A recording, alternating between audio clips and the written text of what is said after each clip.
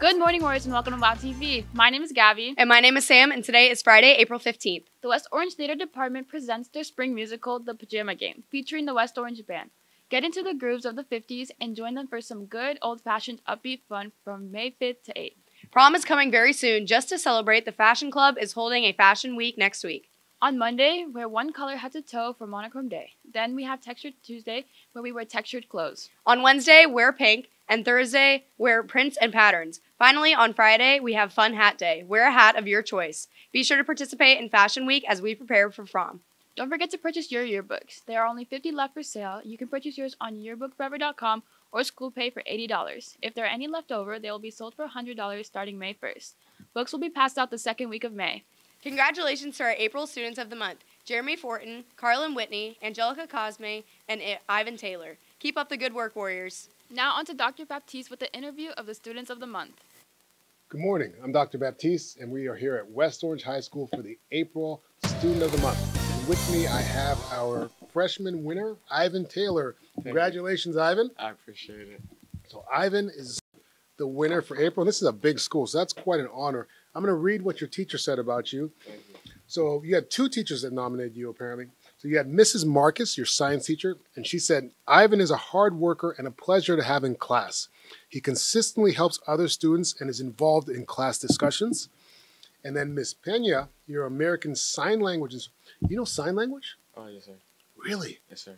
Because I have a patient who knows sign language. We always talk in sign language. I just talk gibberish though.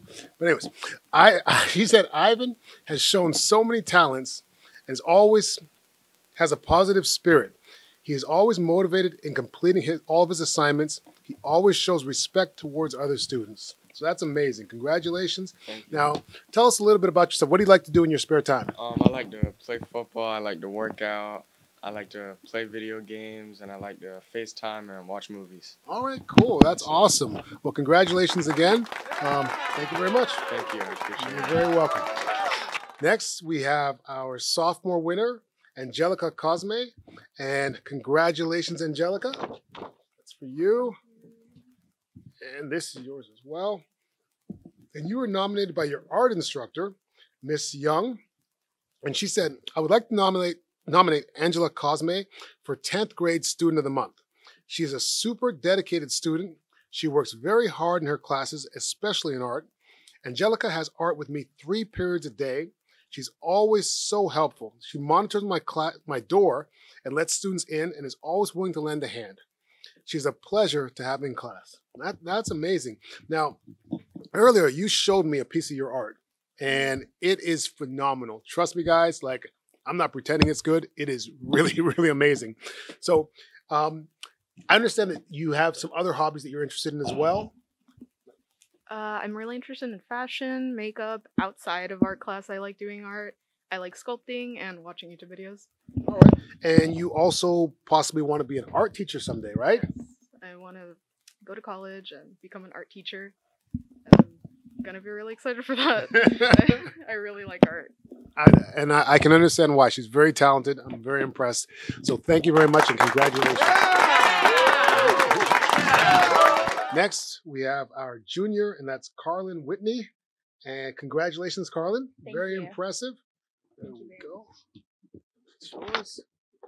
Now, Carlin was nominated by Mrs. Beck, the science instructor. She said Carlin is very active on the dance team, um, NHS, which is the National Honor Society, and her academics. This year, she started a club on campus to benefit animal shelters and has been so incredibly organized and enthusiastic about it. In three months, they raised over $700 in donations to buy pet supplies that'll be gifted to a local animal shelter.